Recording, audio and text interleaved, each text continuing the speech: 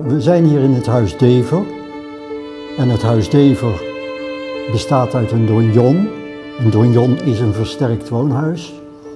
En dat versterkt woonhuis bestaat uit twee meter dikke muren. En dat is gebouwd eigenlijk rond 1370. Toen heeft Reinier Dever hier een woonhuis mogen bouwen. In een periode dat er nog niet zoveel echt gebouwd werd. dus het was een bijzonderheid. Het was zo dat de graven van Holland, die stelden eisen. En je mocht niet zomaar als ridder zo'n woonhuis gaan bouwen. Want voordat je het weet had je een vijand in huis die zei van, en nou ga ik hier heersen.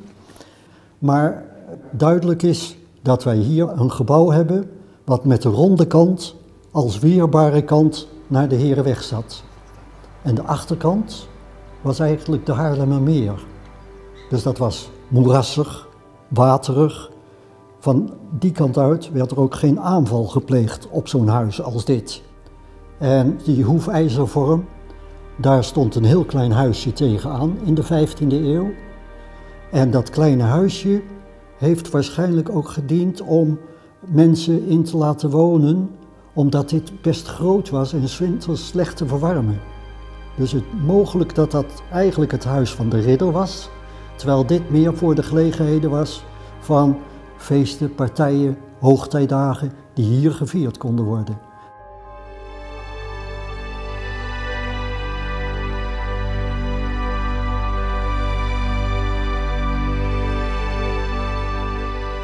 Later is dus in de 17e eeuw het voorhuis gebouwd. Maar dat voorhuis is in de 19e eeuw door misschien een klein beetje verkeerde bouwmethode. Er lag namelijk een balk waarop ze een muur gezet hadden van dat voorhuis. En die balk was op een gegeven moment verrot.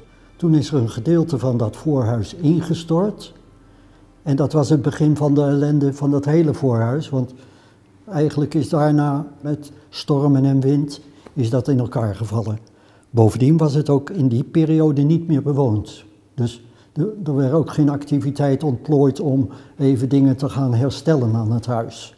En in de 20e eeuw stond het er eigenlijk bij als een hollekies. En toen was er in 1963 een meneer Hulkenberg, Fons Hulkenberg. En die was zo begaan met Dever, die heeft toen gezegd van eigenlijk moesten we dit kunnen restaureren. En die was heel, heel fanatiek. En heeft dus in maart 63 stichting opgericht met de Vrienden van Dever. En in die stichting zaten allerlei mensen met allerlei kwaliteiten. Waarmee hij dacht van met dat koppeltje mensen kan ik Lisse zover krijgen dat we een plan gaan maken en dat dan gaan realiseren met elkaar. En als amateurhistoricus kwam hij er ook achter dat een donjon eigenlijk niet zoveel meer als donjon zichtbaar is. Of ze zijn gesloopt, of ze zijn opgenomen in een groter gebeuren. Dus dat zijn elementen die dan mee gingen spelen om iedereen warm te krijgen. Dan kom eens kijken bij ons. Wij hebben plannen om dat Dever uit te, eh, te laten groeien weer tot een bruikbaar monument. Dus dat speelde allemaal in het begin.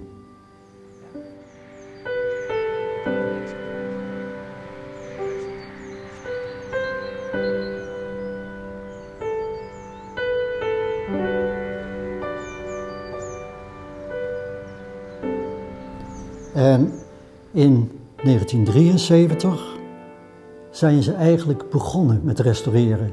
Toen was de eerste opzet, laten we Dever weer een dak geven. Dan staat het in ieder geval droog, lekt het niet meer en kunnen de muren drogen enzovoorts enzovoorts. En de vloeren zijn daarin gekomen, de houten kozijnen zijn daarin gekomen. Dat heeft allemaal te maken met fases. En ook het metswerkherstel was ook een fase in dat gebeuren. Dus misschien wel in drie, vier, vijf fases is het ontwikkeld tot wat het nu is. En we hebben in 1978 het gebouw in gebruik genomen. Daarna is de archeologische werkgroep Rijnland is hier rond gaan graven, heeft heel veel vondsten gedaan. En toen dat gebeurd was, in de jaren 90, zijn we begonnen met de ontwikkeling van die voorburcht. Want het gebouw stond er, maar de, de bollegrond liep tot aan het kasteel. Er zat nog niets op die voorhof en wat dan ook. Dat zat wel in de grond. Dat is dus met die archeologische werkgroep onder andere naar boven te komen, dat, dat die vorm daar was. Dus dat zijn we toen gaan ontwikkelen. Echt toen Dever klaar was, zijn we met het voortrein. En daar heb ik alles van meegemaakt.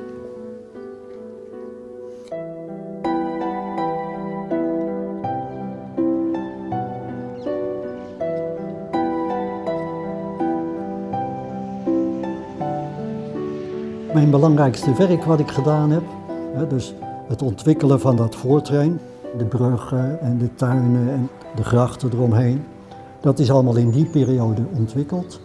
Dus ik heb daar mijn bouwkundige achtergrond kunnen gebruiken. Maar ik denk als wij geen vrijwilligers zouden gehad hebben vanaf het begin en dat je een gebouw hebt wat in gebruik genomen wordt, daar heb je vrijwilligers voor nodig omdat wij daar geen professionele krachten voor kunnen inhuren. En het is zo belangrijk dat Dever blijft en een functie vervult, omdat we met dit gebouw een stuk geschiedenis kunnen vertellen van Nederland. Ook voor, voor de jeugd die dan hier ook komt hè, met, de, met de klasse. En kinderen vertel je over het leven toen. Wat, wat aten die mensen? Wat deden die mensen?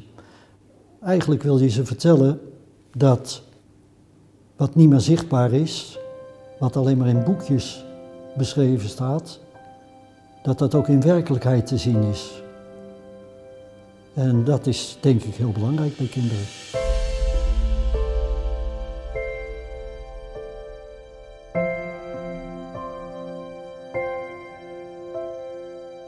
De toekomst van Devo, die ziet er uh, soms een beetje rooskleuriger uit dan de andere keer. Uh, belangrijk is dat Devo vrij blijft liggen. Dus een aantal jaren geleden hebben we dat Bolleland aan de voorkant kunnen verwerven, waardoor we dus het vrije zicht hebben van de Herenweg naar Dever toe. En op dit moment is heel actueel dat de grond aan de achterkant van Dever waar men een woonwijk wil ontwikkelen, waar een weg moet komen, dat we daar alert blijven en kijken hoe ver kunnen wij dat nou bewerkstelligen, dat het ook daar open blijft. Dat zijn belangrijke punten in stedenbouwkundig opzicht. Dus ja, hoe dat over de 100 jaar eruit zal zien hier. Het zal er echt nog wel staan, want het heeft twee meter dikke muren. En we plegen telkens onderhoud en als de Rijksdienst en de gemeente mee blijft helpen om dat overeind te houden, dan zal het er over 100 jaar nog staan en zit ik op een wolkje te kijken en te applaudisseren.